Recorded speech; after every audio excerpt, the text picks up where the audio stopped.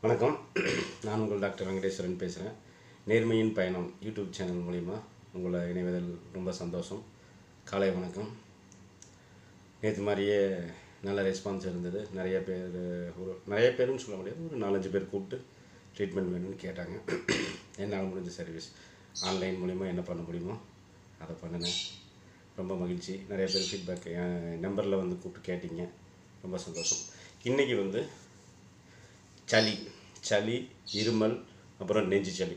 இந்த மூணையும் பற்றி இந்த மூணுக்கும் உண்டான இயற்கை முறையில் நம்ம எப்படி குணப்படுத்தலாம் அப்படிங்கிறது பார்க்கலாம்.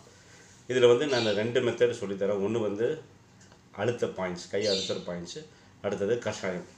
கஷாயம் காய்ச்சி குடித்தோம்னா நெஞ்சில் இருக்கிற சளி எப்படி கரைஞ்சிரும்? அப்புறம் ரன்னிங் நோஸ் மூக்கில் ஒழுகிட்டே இருக்கிறது. அப்புறம் ஏசியிலேருந்து வெளியே வந்தோம்னா இருமல் வருது. அப்புறம் சளி பிடிக்கிற மாதிரி தும்மல் வர்றது இந்த மாதிரி இருக்கிறதெல்லாம் எப்படி பண்ணுறதுன்னு பார்க்கலாம். ஃபஸ்ட்டு வந்து ப்ரெஷர் பாயிண்ட்ஸை பார்ப்போம். ப்ரெஷர் பாயிண்ட்ஸில் வந்து இப்போது என்னென்னா சளி. அதாவது இது எல்லாத்துக்குமே. நான் சொல்கிறது வந்து எல்லா விதமான சளி இருமல் தும்மல் எல்லாத்துக்குமே. சரிங்களா? இப்போ ஃபஸ்ட்டு பாயிண்ட் வந்து என்னென்னா இந்த மூக்கு. நம்ம மூக்களோட வெளிப்பகுதி அதாவது இந்த இடத்துல. இந்த இடத்துல வச்சு பார்த்தீங்கன்னா இந்த மூக்கு முடியுது இல்லைங்களா? இந்த மூணு இடத்துல வெளிப்பகுதி. இப்படி இந்த இடத்துல வச்சு பார்த்தீங்கன்னா இப்படி ஒரு இப்படி ஒரு அழுத்தி ஒரு ரொட்டேட் பண்ணிங்கன்னா ஒரு குழி வரும். சரிங்களா? அந்த குழியிலையும். அதே மாதிரி இந்த சைடில் இப்படி வச்சு ஒரு அமைதி பார்த்தீங்கன்னா ஒரு குழி வரும். இந்த குழியிலையும். இந்த ரெண்டு ஆள்காட்டி விரலில் வச்சு நல்லா ஒரு ப்ரெஷர் பாயிண்ட் நல்லா அழுத்தணும். வலி ரொம்ப வரவே தேவையில்லை. ஒரு மீடியம் ஆனால் அழுத்தம் கொஞ்சம் அதிகமாக இருக்கணும். அந்த மாதிரி கொடுத்து ஒரு நிமிஷம்.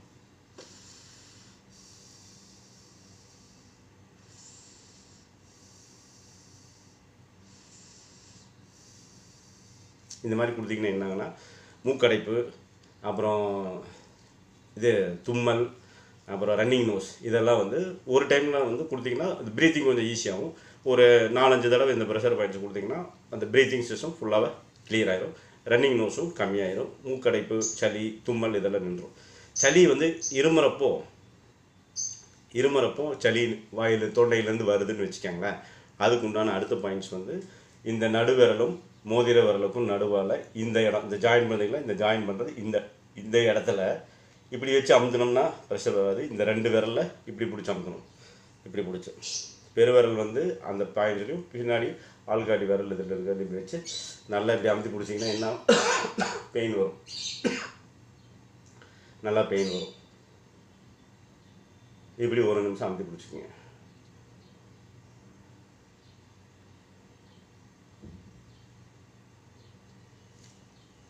அடுத்தது மூணாவது பாயிண்ட் வந்து இந்த நடுவால் மேல் உதட்டில் நடுப்பகுதி சின்ன அப்படி இந்த மாதிரி இருக்கும். அதில் வச்சு இப்படி ப்ரெஷர் கொடுக்குறது.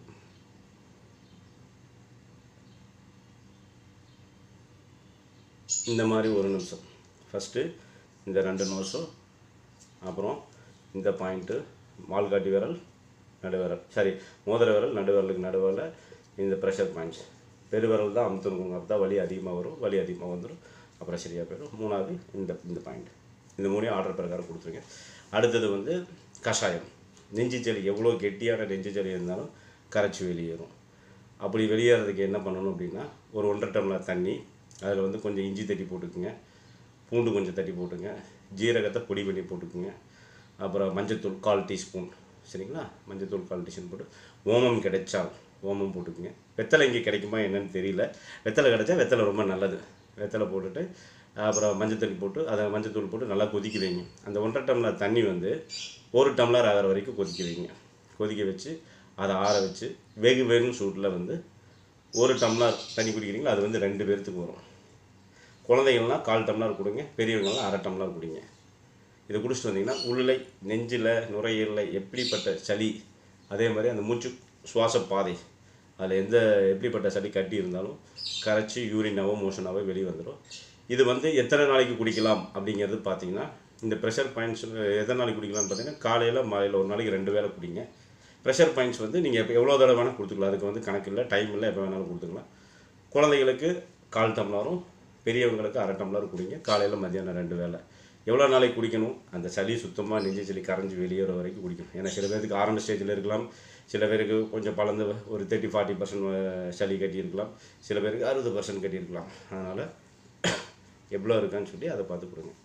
ரொம்ப நன்றி வணக்கம்.